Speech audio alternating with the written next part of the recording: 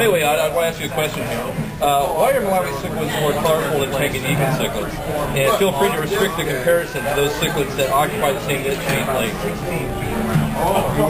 Uh, you have enough memory on the card? uh, some cichlids are pretty colorful in uh, Tanganyika, especially the maternal mouth brooders. And all the Malawi cichlids are maternal mouth brooders, so I think that is a, a character of those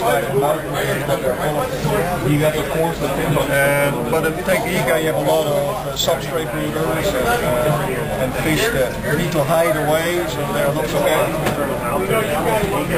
But I think if the Tanganyikans were all maternal mouth brooders, they would be also as colorful as the Malawi. Yeah, yeah. So I don't think you can say they're more colorful. Okay, thank you, sir. Thank you.